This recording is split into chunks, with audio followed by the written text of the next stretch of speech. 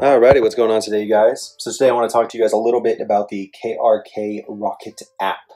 Um, for those of you who aren't totally familiar with KRK systems, I'll give you a little bit of a brief background.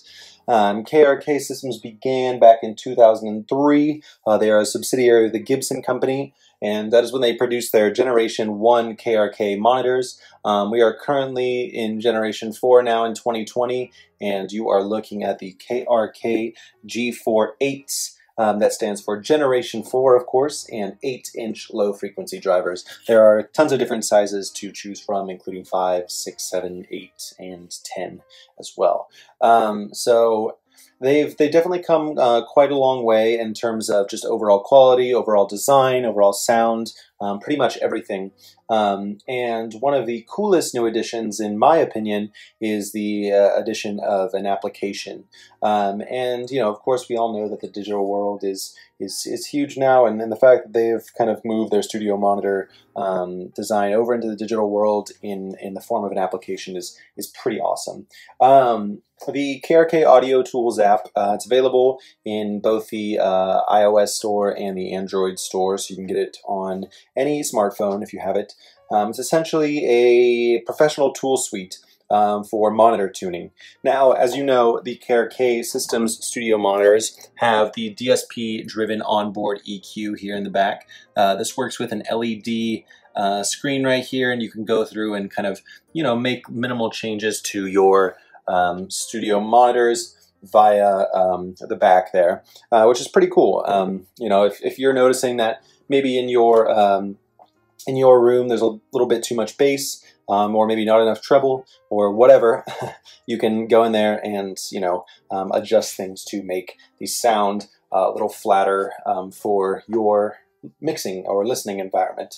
the cool thing about uh, having the smartphone app is that you can do it from anywhere. Um, you know, I can be sitting in the back of my room here listening to my studio monitors and notice, hey, from the back here, it doesn't sound um, like I would really like it to. I'm going to maybe try and, you know, uh, tune it up a little bit so that it, um, you know, maybe can can become a little flatter, a little bit easier on the ears.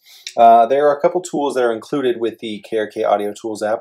First, you have the Spectrum RTA. Uh, this essentially measures and displays the frequency spectrum of the input audio signal in real time, which is really, really cool. Um, it shows what's going into your studio monitors, which can be really helpful because, you know, you want to know that what is going in is what's coming out. Um, there's also a level meter tool, uh, which can be used to calibrate the monitor levels. Um, again, extremely helpful because uh, some of these KRKs are known to, um, you know, have uh, a little bit of a lopsided sort of sound. Um, meaning that your right one and your left one may not be at the same level, even if it says so on the back. So make sure that you're, you know, um, calibrating them, uh, and that level meter tool helps a lot. There is also an EQ recommendation tool. Um, it's used to help determine which of the EQ presets may work best in your room.